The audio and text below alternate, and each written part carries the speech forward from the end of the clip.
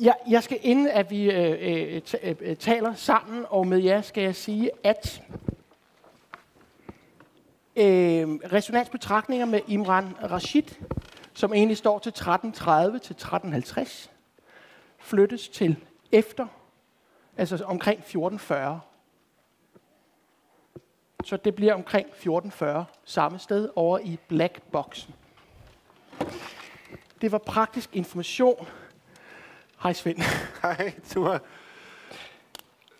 Nu skal vi har sat os. Ja, vi har sat os ned, fordi... Vil vi helst. Jamen, det vil vi helst, fordi det her det er en samtale. Og øh, altså, min erfaring er, øh, også som spiller, det er, at øh, når man sidder ned, så kan man bedre fundere, jeg kan bedre lytte. Jeg præsterer ikke på samme måde. Men når jeg står, så skal jeg performe på en eller anden måde. I hvert fald, hvis jeg står foran andre mennesker. Der går et eller andet præstation i mig. Kender du det? Mm-hmm. Og debat. På Debat. En, anden- altså, nu skal jeg overbevise den anden om, at jeg har ret. Og Ja. noget, fordi der er noget power pose. Og sådan Ja, det er noget, det. Skal, ja. Det er der ikke, når man sidder nede. Og det skal vi altså ikke her. Fordi jeg, jeg, øh, hvis der er noget, vi ikke skal, så er det at overbevise hinanden om, at vi har ret. Ja, det kan vi da godt, men... øhm, nu er det jo en højskole, det her. Øhm, så skulle der være spørgsmål, kommentarer, så vær venlig og, og bland jer. Bland jer, virkelig. Bland jer. Jeg, jeg vil rigtig gerne starte med at tale lidt om tid.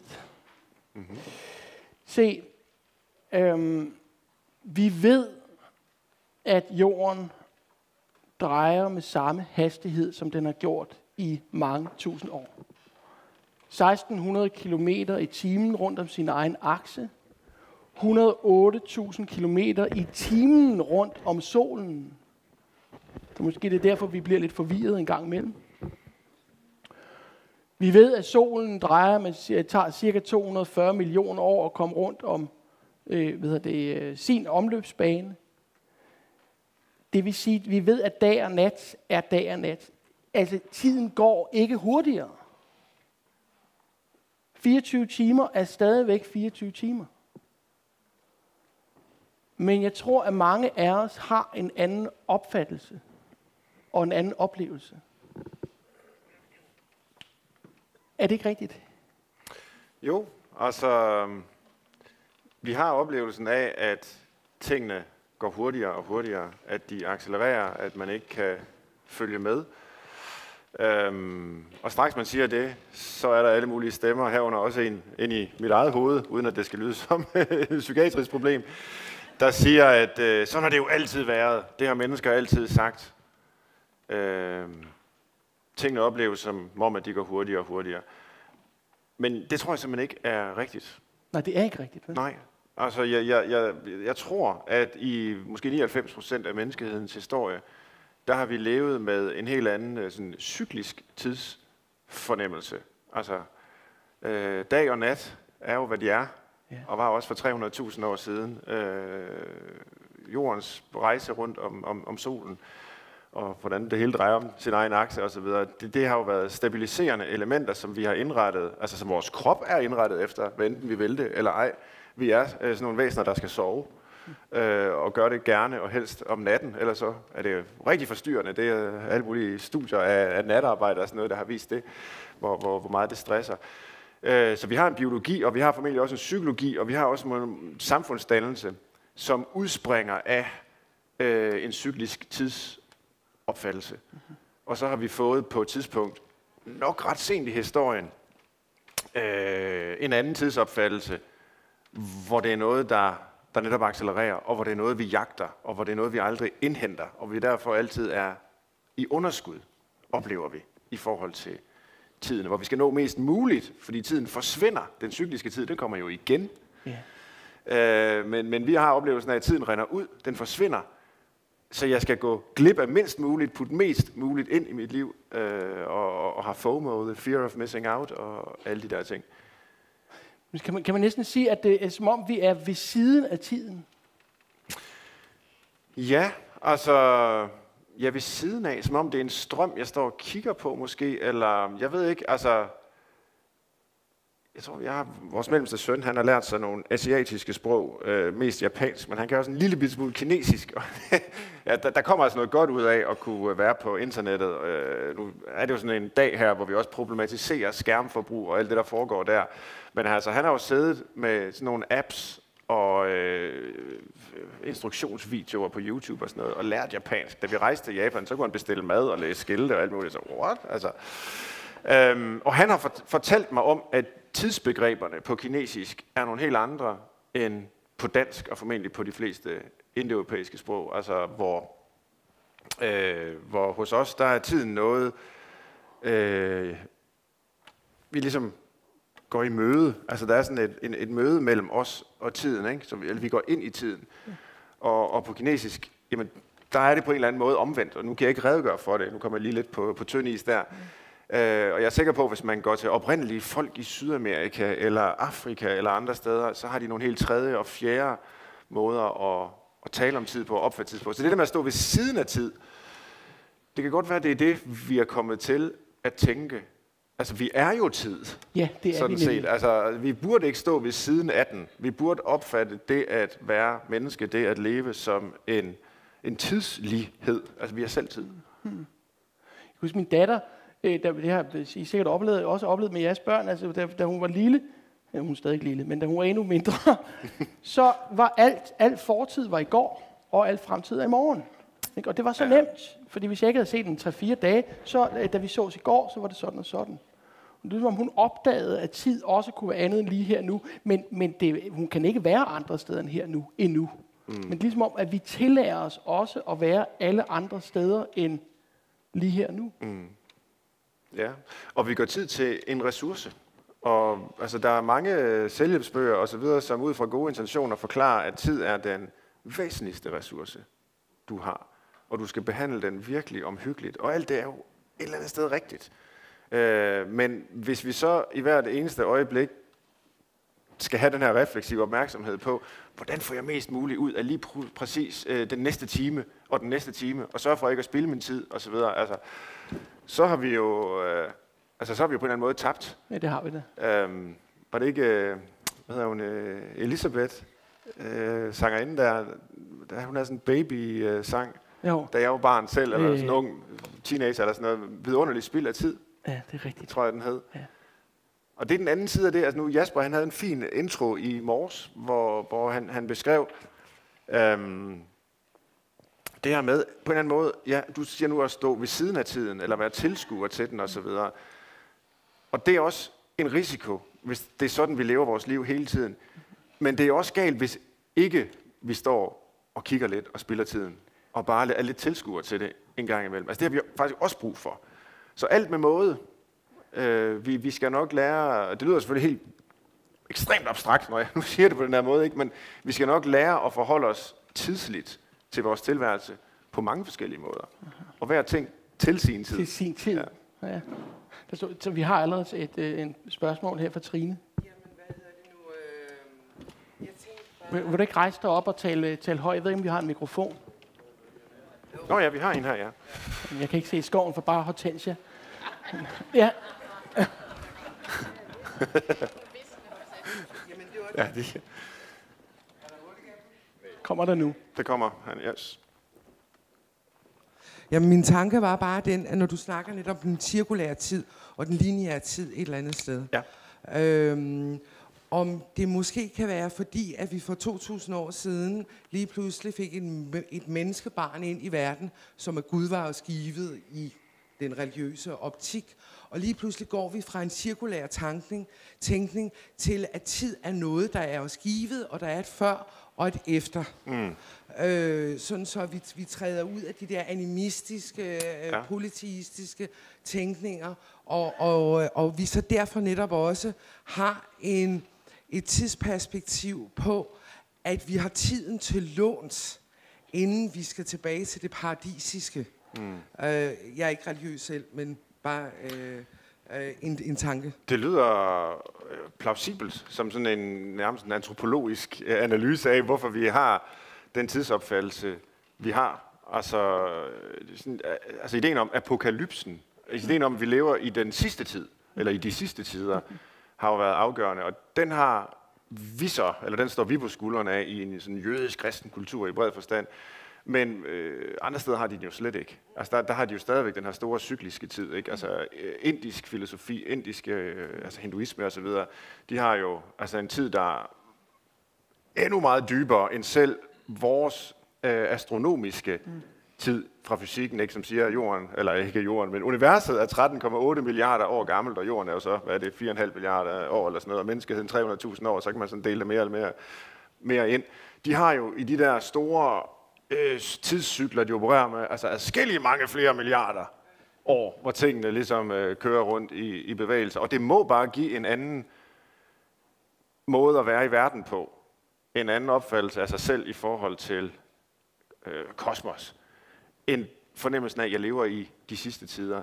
Jeg læste en undersøgelse for at gøre det lidt mere konkret øh, for nylig, hvor jeg netop, du har ikke set, du har bogen der, beskæftiget mig lidt med, med religion og tro og sådan noget, hvor undersøgelser viser, at en meget stor del af amerikanerne, nu kan jeg ikke huske den præcise procentdel, øh, mener, at det er sandsynligt, at jorden går under, øh, altså apokalypsen kommer i løbet, de er så bibeltro, ikke? altså apokalypsen kommer i løbet af de næste 50 år, og det skal vi ligesom forberede os på. Øh, altså, hvordan kan man få sådan nogle mennesker til at interessere sig for øh, klimaforandringer? Hvordan kan man få dem til at tænke generationer frem? og få en eller anden form for planetar bevidsthed, som er øh, nødvendig. Når de har den her apokalyptiske idé. Øh, det kan godt være, at vi lever i de sidste tider, men så er det næppe fordi, at, øh, at dommedag kommer. Vel, altså, så er det nok nærmere, fordi vi skaber den selv, eller et eller andet. Øh, man skal jo heller ikke andet end ja, et par hundrede år tilbage i, i, øh, i vores del af verden, her i gode gamle oplyste Europa, før de fleste mennesker troede, at jorden var 6.000 år gammel. Og Gud havde en gang for alle skabt øh, kontinenterne, arterne, mennesket. Ja. Det var fikst og færdigt. Ja. Altså prøv at tænke at leve i en verden, der kun er 6.000 år gammel. Ja. Øh, man kan jo tælle generationerne tilbage i Bibelen, og, og sådan regne ud, hvor, hvor gammel den er. Ja. Øh, det troede oplyste mennesker. Ja. Og så kom Darwin og sagde, ej, det ser ud til, at den er meget ældre. Og i dag, nu ved vi, at den er super meget ældre, og har en fornemmelse for en dyb tid. Og det tror jeg faktisk er det kan give anledning til andre, en, en anden resonanserfaring, hvis vi skal trække det begreb ind, af at være et væsen i en verden, der er dyb og gammel, øh, og, og ikke kun lige 6.000 år og slutter om 50 eller sådan noget. Det er sjovt, at de, at de apokalypser, altså de apokalyptiske, mm. øh, eller åbenbaring, apokalypse betyder åbenbaring, og det har, de har jo, altså Johannes står på Patmos i hvad, øh, 70 AD og laver Johannes åbenbaring, som er den store, store apokalypse som jo er den, som, som kristendommen jo øh, i og for sig bygger på. Altså man kan sige, hvor modsætningen mellem kristendommen og lad os sige buddhismen er i kristendommen, der kommer vi fra paradis. Det der med, at går vi til paradis med ro og sådan noget, det kommer først med øh, romantikken og Grundtvig, altså troen på det, den øh, happy ending. Ikke? Mm. Øh, men, men i kristendommen kommer vi fra paradis, øh, hvor i buddhismen, der ender du med nirvana. Altså der ender du med sand oplysning. Og det er jo stor forskel på en livsopfattelse. Om du kommer fra noget, eller om du skal til noget. Jeg tænker, det kan jo også give en anden tidsopfattelse. Skal vi, skal vi have noget ud af tiden, eller skal vi bidrage med noget til tiden? Mm. Hele den her acceleration, som, som Rosa taler om, og som jeg ved, du også har været optaget af, du, du efter vi aftalte, at du skulle komme her, så har jeg læst den bog, du har skrevet øh, i løbet af 2020, som hedder Mit år med Gud. jeg, jeg griner hver gang nogen nævner titlen. Jeg ja, kan ikke forstå, det er mig, der har skrevet det. Men det, det har jeg jo. den er, jeg så en præst, der lavede en, sådan en meme på Facebook, hvor Gud havde skrevet en bog, der hed Mit år med Svend Brinkmann. Meget kedelig bog, tror jeg. Svend, jeg, jeg må også indrømme, jeg studerede, jeg studerede faktisk lidt ty, øh, øh, øh, øh, typografien her, og jeg, jeg synes faktisk, at Svend Brinkmann står en lille smule større end Gud, eller også er det i hvert fald Det samme. gør det ikke! Altså helt Jamen, ah, det er godt, du siger det der, fordi altså, jeg har haft en uh, længere dialog med min redaktør og grafikeren præcis om det der. Og jeg insisterede på, at Gud skulle stå større, så er det større. end Svend Brinkmann. Men det tror jeg ikke, det gør. Nu tror jeg, det står lige stort. Det er lige stort. Ja. Det, synes jeg også, det synes jeg også er i orden. Vi er på en højskole, det er fandme i orden. Men der kunne jeg jo så se ret hurtigt ind i bogen, at du faktisk er meget optaget af Rosa. Ja. Altså, og næsten bruger ham, så vi, ham og så, så taler ja. øh, næsten som en, en åbning til, øh, kan man sige, en moderne, øh, moderne øh, Guds tro. Ja, altså Brusers bog om resonans, som er hans bud på en sociologi om det gode liv. En sociologi om måden, vi kan være i verden som mennesker, som er, øh, er god og gavnlig for os. Øh, I den har han jo altså simpelthen et Guds begreb, mm øh, som, øh, og der skal man måske forstå, hvad er det her resonans? Og det, og det er jo en, øh, kan man sige, ja, dialogisk vekselvirkning med, med omgivelserne, hvor, hvor man både henvender sig til verden, og hvor verden svarer. Øh, hvor både subjektet og, og verden forandres i processen. Og øh, Rosa siger så, jamen der er forskellige akser, vi kan erfare resonans i. Der er øh, den vertikale, ja altså lyder den horisontale. horisontale. Det er der, vi begynder, ikke? Ja. Og, og, og det er jo den, vi er i lige nu, når vi taler sammen, og hvor vi lytter til hinanden, og hvor vi ikke bare har en monolog, og så en anden monolog, og så en tredje monolog, og en fjerde monolog. Det er jo ikke en samtale, det er bare en masse monologer ved siden af hinanden. Hvis vi har en samtale, så kalibrerer vi det, vi siger efter øh, hvordan den anden svarer, og hvad den anden så spørger en om, og så videre, og øh, kan måske lære noget nyt, og komme et helt andet sted hen, end der, hvor vi begyndte, og det er fuldstændig uforudsigeligt. Ingen algoritme eller kunstig intelligens kan endnu, og formentlig aldrig nogensinde forudse, hvor vi ender hen med det der, fordi det ikke kan kontrolleres, fordi vi fører samtalen, men fører os også af den. Ikke? Okay, så det er horisontal resonans, og det arbejder man med i øh, pædagogik, i altså almindelig børneopdragelse, i psykoterapi, i alle mulige menneskelige møder osv. Så er der en diagonal resonansakse, som han så kalder det, og det er til genstandsverdenen.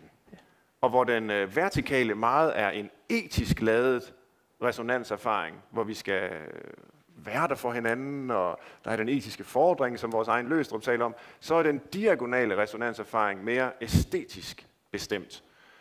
Øh, hvor, altså, når man har kunstnerisk erfaring, mm-hmm når man øh, altså sidder i teatret for eksempel, eller når man øh, beskuer malerier, eller nu bliver det sådan meget finkulturelt. Det behøver det ikke at være. Det kan også være fodboldkamp, fodboldkamp eller håndværkeren, der arbejder med materialet, og øh, er fuldstændig fordybet og suget ind i det her, hvor han skaber, og hvor han selvfølgelig påvirker øh, træet, eller de elektriske kabler, eller hvad det nu er, men jo samtidig hele tiden må, må øh, tage højde for, hvordan det materiale vil behandles, og det også behandler ham på en måde, og, og er der ikke. Men så siger Rosa, der er også den tredje, og det er så den vertikale resonanserfaring, ja. øh, som man kan tolke på utrolig mange forskellige måder, men som handler om, og det er så for at citere sådan den amerikanske psykologis grundlægger William James, der siger, religiøs erfaring eller religion er øh, det livsområde, der handler om menneskets totale forhold til verdenen. Altså vores totale eksistensform i verdenen. Og det fortolker man jo mange steder som havende at gøre med en personlig Gud. Øh, og det er en mulighed. Man kan også være animist og sige, at det er kræfter i naturen. Altså, der er jo nærmest uendelige mange forskellige måder at, øh, og, og ligesom give billeder på den erfaring, vi kan have af resonans i den vertikale akse. Men, men helt kort så siger Rosa, at der er et gudsbegreb der, som handler om, at verden i sig selv er responsiv. Det er ikke bare dig, der er responsiv, når jeg nu siger noget, og du om lidt vil følge op med, med noget, du har tænkt på, eller noget, du vil spørge videre om. Øh, det er ikke kun øh, kunstværkerne og øh, materialerne, vi arbejder med i håndværk, som øh, svarer, øh, som er, er responsiv. Det er også verden i sig selv. Altså den der idé om, at der er noget som en helhed, jeg er relateret til. Det er Rosas gudsbegreb. Og øh, der er sgu ikke ret mange sociologer, som, altså, som arbejder videnskabeligt, og sidder og analyserer på tingene, og læser alt muligt videnskab, som våger i en bog, som ovenikøbet er en af de mest toneangivende øh, altså, i samfundsvidenskaben lige nu, som våger at eksplicitere et gudsbegreb. Og det gør han. Det synes jeg er mega interessant. Og jeg synes faktisk, det er et gudsbegreb, som på den ene side er tilstrækkeligt præcis til, at det rammer noget, og det er et gudsbegreb, tror jeg, som mange mennesker, der øh, forstår sig selv som religiøse, kan genkende deres religiøse erfaring i. Så det er præcist, men det er samtidig jo enormt åbent, øh, og, og kan fange alt lige fra øh, øh hvad kan man sige, naturfolks øh, religiøse opfattelse af at være i verden, til en eller anden øh, intellektuel øh, zen-buddhist, der sidder på sit øh, kontor i, i Tokyo og, øh, og arbejder med krystallografi eller et eller andet. Ikke? Altså, det påstår jeg i hvert fald. Det sjove er, at, at øh, øh, Paulus i, i hans Korintherbrev øh, med, med størst af af kærligheden, mm. altså der den kærlighed, han taler om, er jo agape, som er i kristendommen, er det øh, kærligheden mellem mennesket og Gud, og Gud og mennesket. Så det er, en, det er ikke en envejskommunikation. Det er ikke bare vores kærlighed til Gud eller det guddommelige, men den går begge veje. Mm. Dermed bliver det faktisk et, et samarbejde mellem mennesket og det, der er større end os selv. Ja. Det synes jeg er vældig interessant. Ja. Og et moderne menneske vil jo sige, jamen, verden er ikke responsiv. Altså, verden, den, verden vælter ikke noget. Verden svarer ikke. Verden er tom. Ja. Den er reducerbar til fysik og kemi, til ny biologi og nogle lidt mere komplicerede øh, måder at se verden på osv., men den er affortryllet, for at bruge Max Webers berømte ord. Ikke? Altså, moderniteten har affortryllet verden. Der er ikke formål i verden. Der er ikke mening i verden. Der er ikke værdi i verden. Alle de ting, som jo er det, vi lever og dør for, det er noget, vi projicerer ind i den. I sig selv er den som et biograflærred. Den er tom, den er død, den er stum, den er kold, og vi kan så vælge at vise en film på det lærred. Men det er en film, vi viser, vi vælger at vise. Og, og, og, og der siger Rosa, men tænk nu, hvis det er Max Weber, der tager fejl og alle dem, der mener, at de har affortryllet verden. altså tænk hvis, og det er ikke fordi, han nødvendigvis tror på sådan en personlig Gud, eller et eller andet øh, kraft, der opererer derude. Altså det gør jeg ikke selv. Uh-huh. Men jeg mener helt sikkert, at ikke bare har vi brug for en forestilling om, at verden er andet og mere, end hvad jeg projicerer ud på den. Øh, jeg mener også, det er en korrekt. Det er den bedst mulige forståelse, vi har af verden, er ikke en, der er totalt affortryllet. Eller tom. Eller tom, mm. eller stum, eller... Mm. Øh, nej. Nu var, du, øh, nu var vi jo, altså, har et, et mit år med Gud, Der er lige en, der markerer, men det ved jeg ikke, ja, om det undskyld. Ja, kom, gerne. øh, øh, vi skal have en mikrofon. Nå ja, det glemmer vi hele tiden. Ja. Jeg skal gøre det ganske kort. Jamen, jeg synes jo... Nå, Så kan I høre mig nu? Ganske kort, så synes jeg jo, at åndsvidenskaben er meget spændende. Ja. Øhm, og Martinus, som er jo dansk, øh, han har jo skrevet 6.000 sider omkring, hvordan det hele hænger sammen. Øh, er det noget, du interesserer dig for, Svend Brinkmann?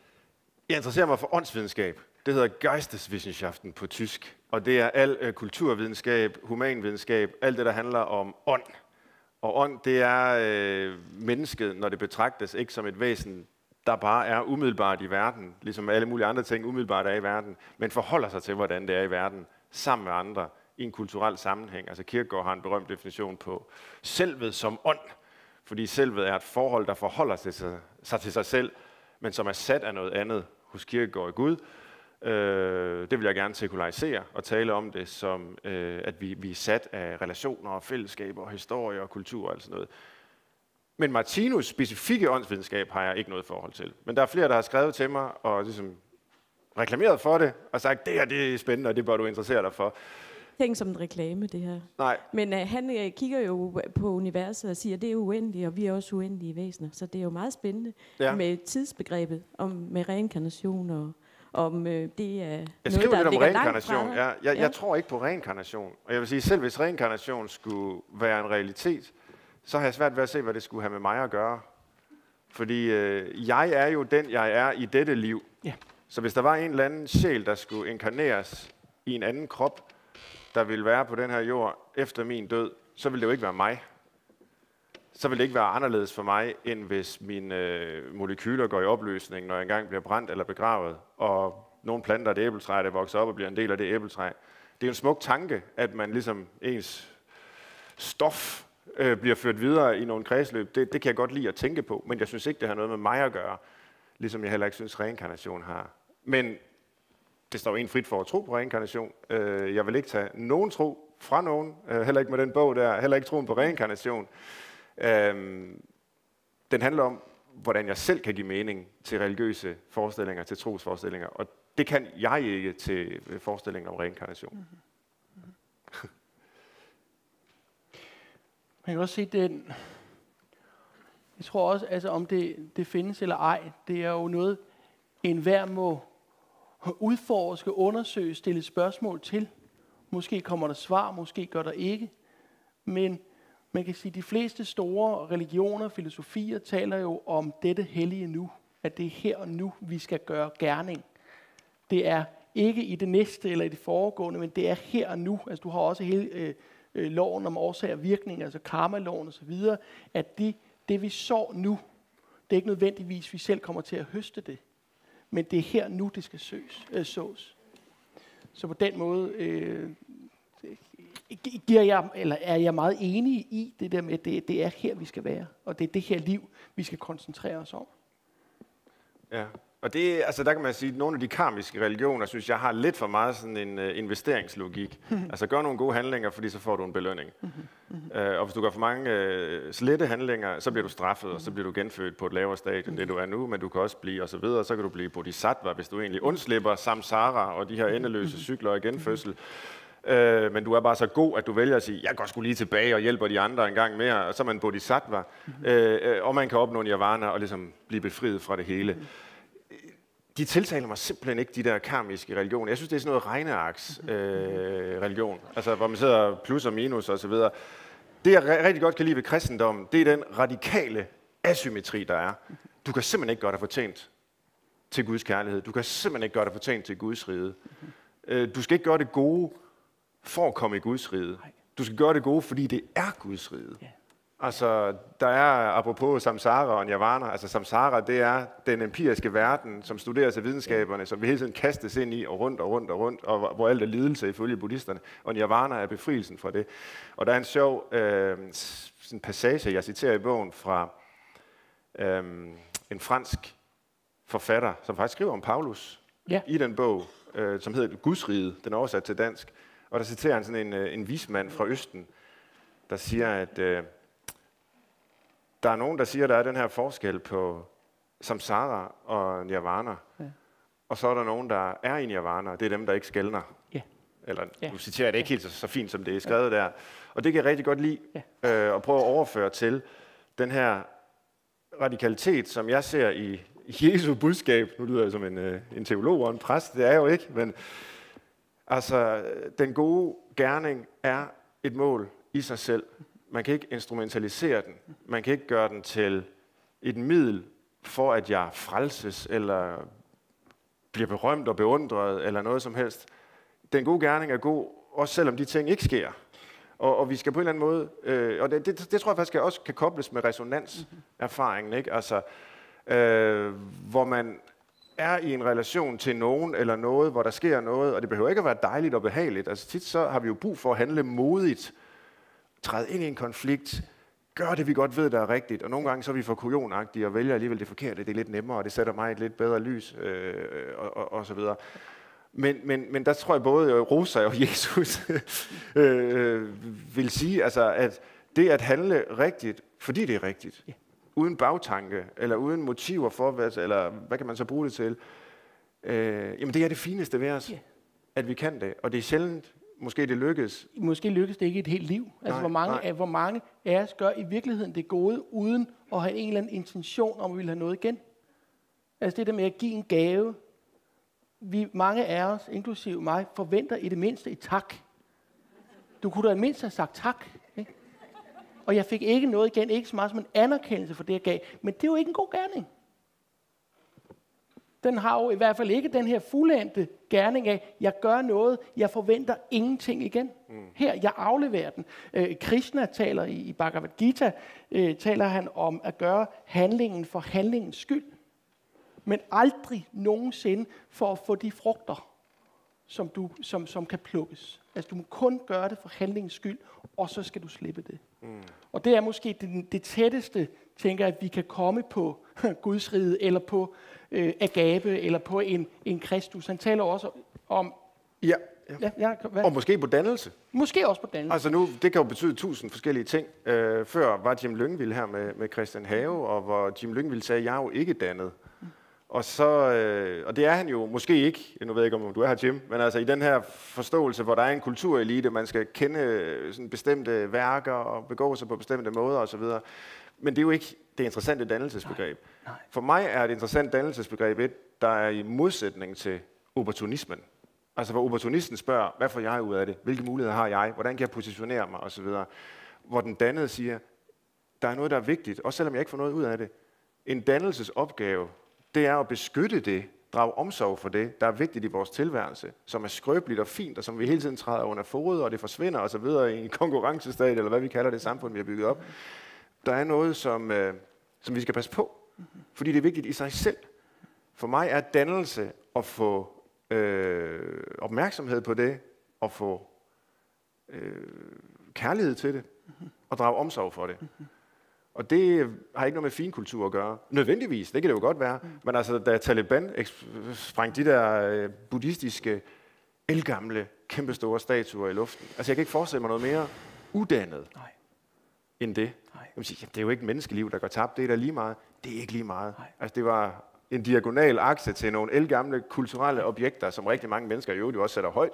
Men selvom de ikke gjorde det, vil sige, det er så destruktivt og dumt og uddannet, så man næsten øh, ikke kan forestille sig noget værre. En, en, en genvej til, vores, til hele vores kulturelle forståelse, til hvem vi var, langt før vi var her. Ikke? Det er også det, der bliver sprængt i luften. Ja. Og det er måske også det, vi skal passe på, at vi skal bevare. Altså når vi taler om, at vi skal bevare en kultur, vi skal bevare, øh, øh, vi skal, skal vi, hvad skal, altså nu har jeg skrevet om, om Gud, vi skal, skal vi bevare vores kristendom, skal vi bevare vores Bibel? Hvor mange af jer her har læst i Bibelen inden for de sidste 10 år? Fint. Hvad med de sidste 5 år? Ja, men de sidste år. Det er fordi, der har været corona, så vi har haft masser af tid. Men man kan sige, i den nu, jeg tror, at du er, vi er lidt det er stort set samme generation, jeg tror, jeg er et år ældre end dig. Øh, men, men, men altså, da vi voksede op, nu må jeg hellere tale for mig selv, det, det var jeg voksede op. Jeg voksede op med en far, der er teolog, og en mor, der er psykiater. Jeg voksede op med alle forudsætninger for at, at, at være et troende, et, et bibelkyndigt menneske osv. osv. Men, men, men øh, den tid, altså 70'erne og 80'erne, den tillod ikke den form for øh, tro i hvert fald det, hvor jeg voksede op, men, og især i den danske kultur, man diskuterede det, man talte om Gud, eller man talte om religion, men det var ikke noget, man gik ind i, ikke i det segment, jeg voksede op i. Og jeg tror, at hvis jeg var kommet til min øh, familie som 13-14-årig og sagt, hvad er det noget, jeg skal fortælle jer? Jeg tror på Gud. Så tror jeg, de har sagt, det er fint, men vil du ikke godt holde det for dig selv? Altså, og jeg, nu, nu er der inden for de sidste år, synes jeg, der er kommet en anden sådan øh, søgen efter åndsvidenskaben. Øh, øh, hvad hedder det på tysk? Øh, Geisteswissenschaft. Geisteswissenschaft. Men, men jeg, jeg kan da se, i hvert fald jeg selv er præget af denne øh, lettere berøringsangst mod det åndelige. Øh. Ja, og det har jeg fuldstændig. Jeg deler helt den der... Øh jeg har den samme erfaring fra min opvækst. Ikke? Altså, jeg ved sgu ikke, hvordan mine forældre havde reageret, hvis jeg havde sagt, nu skal jeg høre mor og far. Jeg tror på Gud. altså, no. Jeg tror, de var blevet sådan lidt pinligt berørt. Jeg er sådan, mm, vil du have dessert? Eller skal der snakke om noget andet? Er der noget, vi kan gøre for dig? de var ikke, altså de var jo medlem af folkekirken. Vi øh, døbte og konfirmerede og gift i kirken og, og alt muligt, altså så totalt sådan kulturkristne og så videre. Men det der med ligesom at bekende det eller tale om det, det ville have været helt øh, fremmed, tror jeg, for os alle sammen. Altså, der er, øh, jeg, jeg, ja, nu bliver det lidt personligt, og, men jeg fandt selv på at bede, da jeg var lille. Øh, der var ikke nogen, der bad fader var med mig, eller aftenbøn, eller sådan noget. Øh, det gør jeg så ikke i dag, og nu redegør jeg for min trosforhold i, i hele den bog der, men i en periode i min barndom øh, gjorde jeg det. Og øh, det fortalte jeg aldrig mine forældre. Jeg var altså flov over det, tror jeg egentlig. Der var i hvert fald ikke nogen, der måtte opdage det. Jeg ved ikke, om jeg havde det som, der er sådan en berømt antipsykiater, Thomas Sass, der siger, hvis man beder til Gud, så er man religiøs, men hvis Gud svarer, så er man skizofren. øh, men han svarede jo heller ikke. Så det var heldigt. Jeg var ikke så nervøs. men, øh, men, men, men jeg tror, mange børn og, og selvfølgelig også voksne altså har den der impuls, har den trang til at rette sig mod den totalitet, mm. som, øh, som William James taler om. Ikke? Mm. Kan du huske, hvad du bad om? Jamen noget af det var, sådan tror jeg, lidt grænsende til det sådan OCD-agtige. Ja. Altså hvor man ligesom, når man først er begyndt på det, så tør man ikke at holde op. Fordi livet havde været meget godt. Mine forældre var ikke blevet skilt, ligesom nogle af mine kammeraters forældre. Vi havde ikke oplevet store tragedier. Tænk, hvis det var fordi, jeg var gået i gang med at bede, og jeg så stoppede med det, og så Gud ikke kunne lide mig mere, og så ville han straffe mig. Det er jo sådan et gudsbegreb, jeg forsøger at gøre op med. Ikke? Altså Gud som den der mafia-boss, der ligesom belønner og straffer og siger, er du værdig, er du ikke, og så videre. Hvad skylder du mig? Og sådan.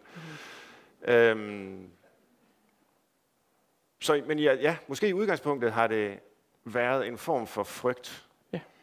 Man må, hvis nu Gud fandtes, altså, så det, er jo, det ville jo ændre alt. Altså, det er jo totalt afgørende. Ja. Hvis der findes en almægtig kraft i universet, som vi skal holde os gode venner med, og som måske kan straffe os i al evighed, hvis vi ikke opfører os ordentligt. Altså for et barn, der hører sådan nogle ting, det er jo ikke, fordi mine forældre sagde det til mig overhovedet ikke, men, men det er jo sådan Guds begreber, der øh, cirkulerer rundt og i, i historier og øh, så videre. Ikke? Altså, tænk, hvis det var sådan. Hold da kæft, det er ikke værd at gamble med. Så må jeg hellere bede. Altså, altså, risikoen for at blive straffet i al evighed i helvedes flammer, den er da alt, alt, alt for stor, ikke? Men det er også sjovt, hvor, hvor mange af os, altså jeg, vi har et spørgsmål, jeg siger det bare lige på vej ned, der, der øh, hvis vi beder, og når vi beder, så beder vi om at få noget. Ikke? Hjælp mig. Jeg, altså jeg, jeg havde nogle år, hvor jeg, hvor jeg hver gang jeg var ude at flyve, jeg var, var, var hunderad for at flyve. Øh, hvad hedder det? Jeg tror bare, det handler om et eller andet. Det kan du sikkert analysere. Noget kontroltab, eller hvad ved jeg det tager vi på et andet tidspunkt. Men i hvert fald så bad jeg altid der, når der var turbulent, så begyndte jeg at bede. Ikke? Ja. Altså, åh, kære Gud, hvis bare du lader mig komme ned på landjorden, så skal jeg nok være et godt menneske. Jeg kommer aldrig til at knalde udenom. Jeg kommer aldrig til at gøre dit og datten. Og så når jeg kommer ned på landjorden, så fortsætter man det, for at sige, ja, ja, ja, fine. øh, ikke?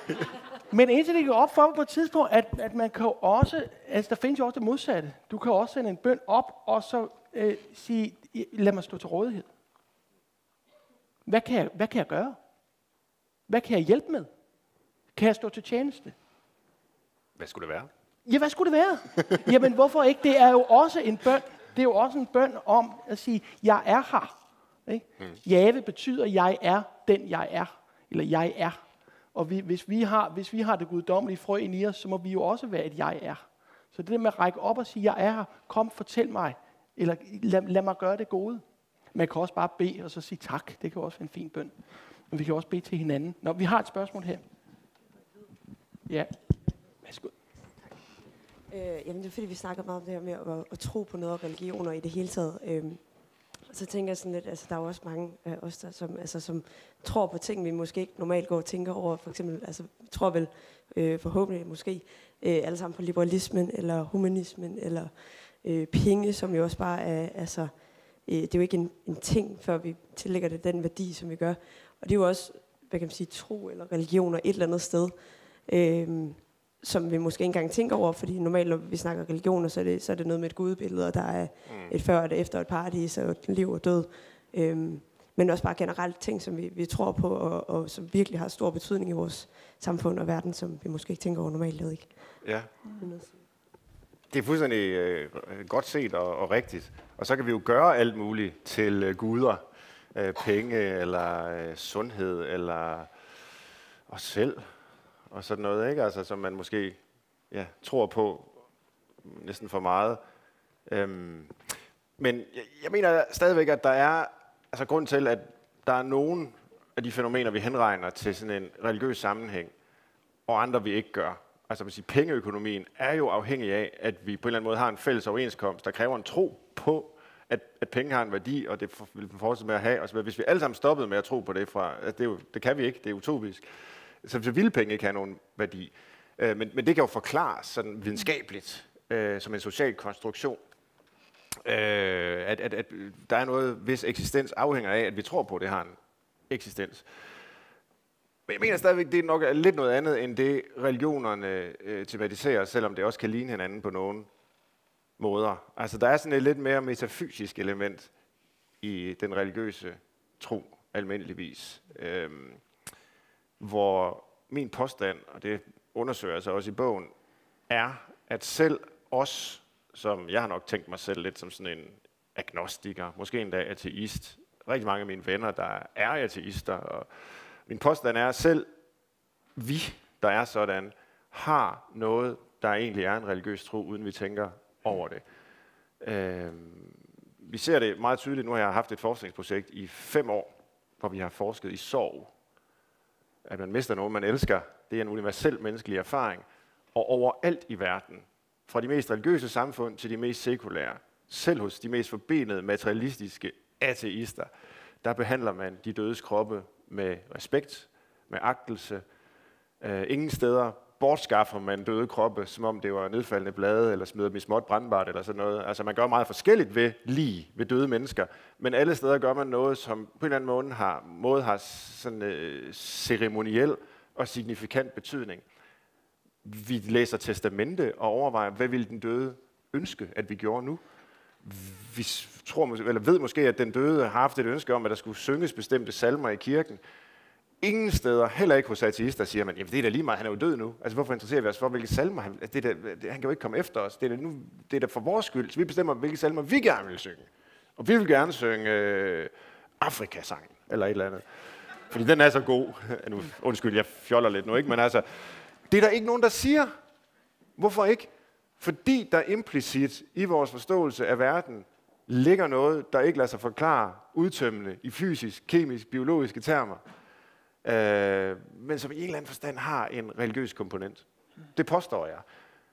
Øh, det er jo ikke fordi de folk øh, så er, haha, du er religiøs uden at vide det. Det er ikke det, der er min pointe. Det synes jeg er sådan lidt en kedelig. Ateister har også en tro. De tror bare på ingenting. Det er også at tro på noget. Nej, det er det faktisk ikke. Ikke at tro på en Gud, det er ikke at tro på en Gud. Altså, sådan er det bare. Men derfor kan der jo godt være en måde, de er i verden på, som minder om det, som, og måske også nogle gange nærmest er det samme, som det religionerne tematiserer og giver billeder på og stemme til osv., som, som ligger bag. Og det her det jo også i tråd med sådan en helt almindelig religionssociologi, altså at man kan ikke rigtig vælge ikke at være religiøs, fordi religion er bare sådan en samfundsopretholdende kraft, øh, en, en komponent i det, at der findes komplekse øh, samfundsformationer. Og det, øh, altså der er noget at tro på, som måske ikke er noget overnaturligt. Nu er jeg begyndt at kalde det undernaturligt. Mm-hmm. Fordi det overnaturlige, det er det, der strider mod vores bedste videnskabelige bud på, hvordan verden er indrettet. Og det kunne for eksempel være reinkarnation. Altså, vi har ingen videnskabelig idé om, hvordan det på nogen måde skulle forklares, at man lever videre efter sin død og bliver reinkarneret i et andet læge og sådan noget. Men det undernaturlige, det er bare det, der det strider ikke imod, hvad vi ved videnskabeligt, men det kan heller ikke forklares af det, vi ved videnskabeligt. Og det er for eksempel vores omgang med de døde. Der er jo ingen empirisk evidens fra videnskaberne for, at det er sådan, vi skal gøre. Der er også en, nu skal jeg nok stoppe, sorry, det er, det er en alt for lang monolog. Nu har vi jo talt om samtalens værdi, og så sidder jeg bare og forelæser. Men øh, jeg har sådan en lille, der er den film, der hedder Contact, ja. med Jodie Foster og Matthew McConaughey, hvor han er sådan en, øh, en trone. Jeg tror, at han er præst i filmen, og Jodie Foster er øh, videnskabeligt uddannet. Og så lander de her rumvæsener, og hun er en af dem, der ligesom skal etablere ja, en kontakt til dem og kommunikere med dem. Og så er der en, øh, en, en fin lille dialog mellem øh, Jodie Fosters karakter og Matthew McConaughey's, hvor de taler om, jamen, tro, religion, og Ellie, som øh, Jodie Fosters karakter hedder, har mistet sin far. Øh, og hun mener, vi kan jo kun lægge til grund for vores måde at være i verden på, vores øh, liv og sådan noget, det vi kan bevise videnskabeligt. Hmm. Og så spørger, og det er bare så enkelt og banalt, altså nu, lyder, nu bliver jeg nok lidt skuffet, når jeg siger det, nu har jeg bygget en stemning op til det, men altså Matthew McConaughey spørger hende så bare, jamen elskede du din far, Ellie? Og så svarer hun, ja selvfølgelig, og så siger han, prove it. Og det kan hun ikke. Men det er en eksistentiel forudsætning i hendes liv, at hun har kærlighed til sin far. Det er simpelthen altafgørende for hendes selvforståelse, for de handlinger, hun foretager, men hun kan ikke lave et videnskabeligt eksperiment, der viser det. Og man er, har knald i låget, hvis man tror, at jamen, kærligheden sidder i hjernen, så vi kan bare putte hende ind i en hjernescanner og så se, at hun faktisk elskede. Jamen, det er jo ikke det, kærlighed er. Come on. Øh, så hun kan ikke bevise det, og det er der en pointe i. Øh, så også sådan nogle fænomener der beror i en eller anden forstand på en tro og en tillid, altså kærlighed, tilgivelse, alt det der, som ikke kan begribes inden for sådan et darwinistisk verdensbillede, mener jeg, øh, men som jo er helt afgørende i vores tilværelse med hinanden. Skal nok. Nej, jamen, vi, vi, vi, er, vi, må far, vi, vi er overskrevet tiden. Så, Hvor har vi det? Ja, ja, men det er kun godt. Det er fordi, vi, øh, det er, fordi vi kan. Kan vi få to hurtige kommentarer eller spørgsmål, og så tre? Øh, det, det, skal være, det skal være stærkt. Ja. Og du vil også sige noget. Og min kommentar, det er den der med, at man behandler de døde på en bestemt måde. Tag til Bali, og så tage op på Agung så går man ned i Agung og sejler over øh, det, den øh, sø, der er nede i Agung. mens vi så gik op mod landsbyen, så over til højre, der var der sådan en skraldebunke. Der lå der en død mand, for han var jo død. Og det var den måde, de behandlede de døde på der. Hvor var det, siger du? På Bali. På Bali? Okay. Op på... Men altså kun, det, kun den lille landsby, som er oppe i krateret. Og det er interessant. Det må vi studere. En sidste... Nå, Pointen er med det. Nej, jamen, det, er, det er bare spændende. En sidste kommentar eller spørgsmål, og så øh, skal vi sige tak for nu. Hej, jeg hedder Siri. Øhm, Jeg kan huske, da jeg skulle overveje, om jeg ville konfirmeres, der var heller ikke døbt. Og så kan jeg huske, at jeg får et eller andet billede af, at når jeg skulle skyde eller kaste straffekast i håndbold, så havde jeg vist på et eller andet tidspunkt tænkt, kom så Gud, altså for at hjælpe mig til at score. Øhm, og så begynder jeg til konfirmationsforberedelse. Og det jeg oplever, det er rent faktisk til en eller anden grad godt at kunne lide at være der. Selvom noget af det var klaustrofobisk, så tror jeg, at det er fordi, det var et sted at snakke om det eksistentielle. Og som højskolelærer, der synes jeg også, at vi har et rum for at vende det eksistentielle med unge mennesker, og jeg oplever også et brug for at snakke om og berøre og bevæge sig ind i det eksistentielle. Så hvor ellers har I nogle bud på det, hvis en ung, et ungt menneske forlader den her ramme? Hvor mere, hvis det ikke er i kirkens rum, hvad sker der i samfundet? Andre rum for det eksistentielle. Ja, jeg har et meget klart bud, men det er måske et oplagt bud. Kunsten. Altså, det, kunsten er et af de... Se, nu går jeg næsten op ad kirkegulvet. Men kun, kun, kun, kunsten, kunsten er jo virkelig... Så, kunsten, skal, vi ikke, skal vi ikke slutte den der? Svend, tusind tak. tusind Det var en fornøjelse. Det var, det var en stor fornøjelse. Tak, tak, Tak for dig. Tak fordi I kom.